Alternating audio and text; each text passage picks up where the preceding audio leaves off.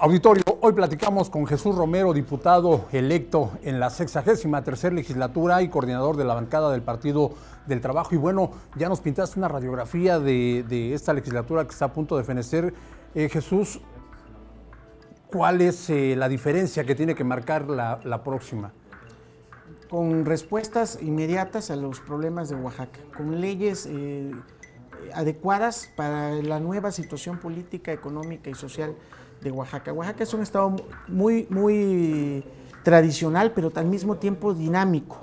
Y ese dinamismo se tiene que ver reflejado en sus leyes, en su marco general de, leyes, en su constitución, en sus códigos, en todo este conjunto de leyes que tenemos que estar perfeccionando los diputados. Se ha visto la actividad del diputado más como gestor que como legislador.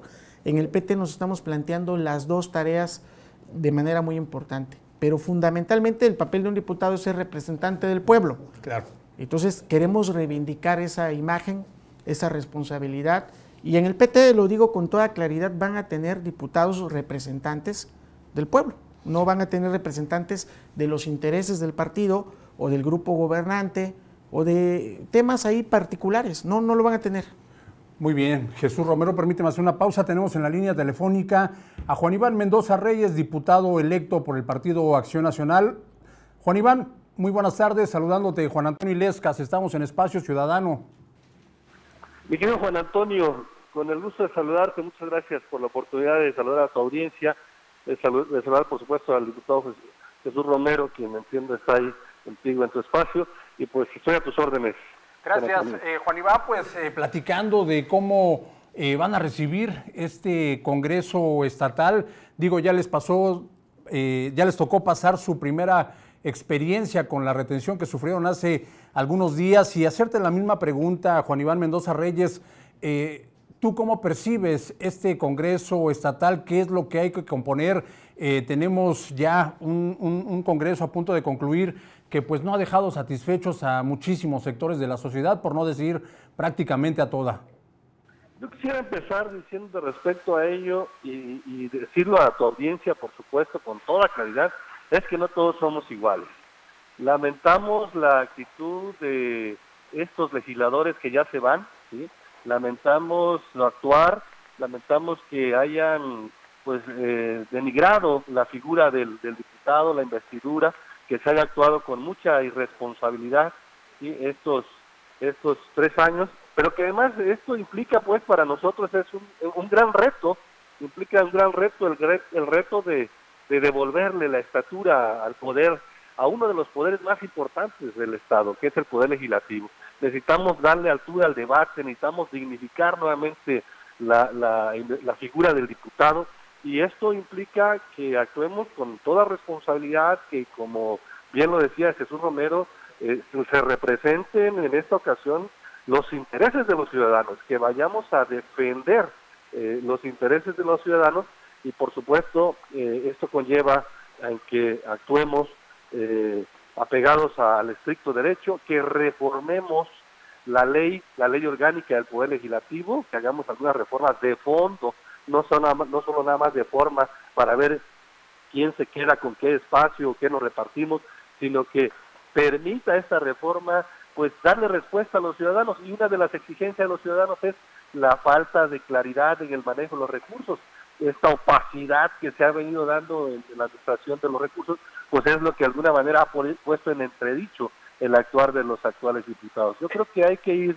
por fortalecer al poder legislativo y, y que este pues esta, este trabajo, este fortalecimiento se traduzca en, en, productividad, en leyes que permitan a los ciudadanos garantizar sus derechos, que permitan cubrir o tutelar eh, pues eh, derechos de los ciudadanos y resolver sus, diferentes problemas, de darle, por supuesto, al Ejecutivo las herramientas para hacer un buen gobierno y sobre todo de ser contrapeso con los otros poderes para que cuando estos atenten contra el derecho de los ciudadanos, pues sea, seamos los diputados los que demos la, la, cara, los que defendamos el derecho eh, popular, el derecho de los oaxaqueños. Juan Iván, eh, el Partido Acción Nacional asumirá su responsabilidad en cuanto a esta acusación que hay en contra de Gerardo García Nestroza, el, actual eh, presidente de la Junta de Coordinación Política, por este tema que está atravesando en este momento el Congreso. Eh, esa es una, una, de las preguntas. Y bueno, el otro tema también que quisiera plantearte, Juan Iván, el tema de la corrupción en, este, en esta legislatura que está a punto de concluir. Se ha hablado de eh, que no aparece, no se sabe cuál fue el destino de una cantidad millonaria de, dinero. ¿Hay compromiso de, esta nueva legislatura por investigar en caso de que se descubra que hubo desvío de dinero, eh, proceder en contra de los responsables? Digo, se habla de ahí por más de 600 millones de pesos que, que no están claros eh, cómo se destinaron. Por supuesto, a ver, que cada quien que haya cometido algún ilícito que, que, el que sea responsable de la comisión de esto que tú comentas, pues tiene que eh, eh, pagar las consecuencias de ello. Nosotros no estamos de ninguna manera como partido, como Partido de Acción Nacional, como fracción o diputados del PAN, no estamos de ninguna manera por solapar, por encubrir ¿sí? a algún diputado, algún funcionario público del gobierno actual que haya cometido desvíos o mal manejo de los recursos públicos. No aceptaremos no aceptaremos de ninguna manera, por supuesto, el que se quieran ir y heredar plazas, afectando ya la plantilla de trabajadores que hoy están en el Congreso del Estado, los trabajadores de base.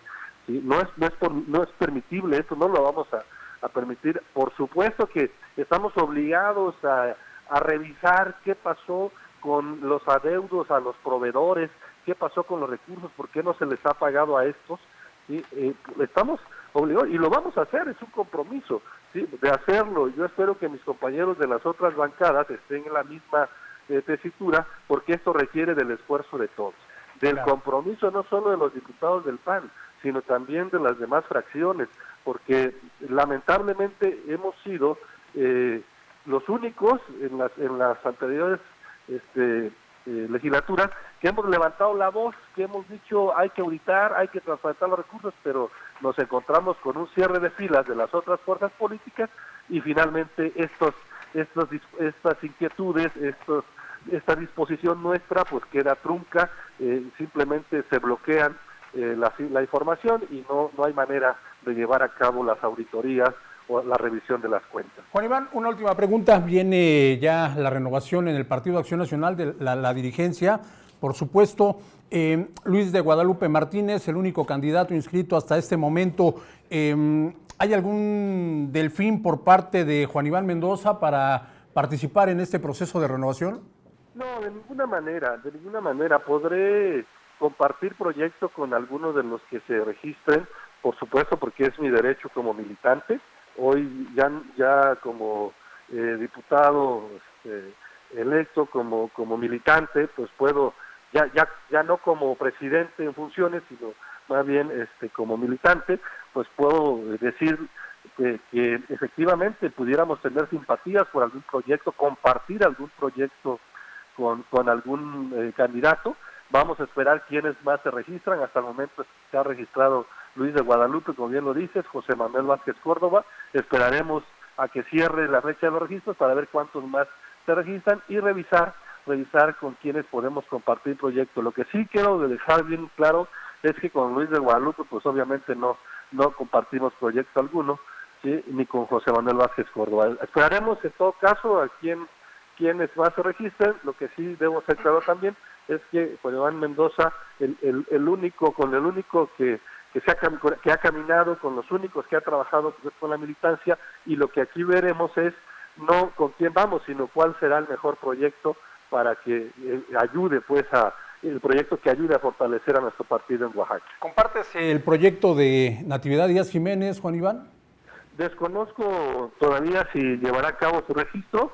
Por supuesto que con Nati hemos hecho equipo. Es una mujer que eh, se ha desempeñado con mucha transparencia, con mucha responsabilidad, que a pesar de, pues obviamente la, todas estas bloqueos, estos eh, obstáculos que le han puesto en, el ejercicio de su función como diputada y presidenta de la Junta en su momento, a pesar de ello ha sabido salir adelante, ha dado la cara y bueno, pues este eh, no sería una, eh, creo, más bien creo yo que sería un excelente eh, propuesta, una excelente candidata. Esperaremos a que en todo caso se decida su registro, decida si compite o no, y, y si no, pues estaremos revisando en todo caso si alguien más lo hace.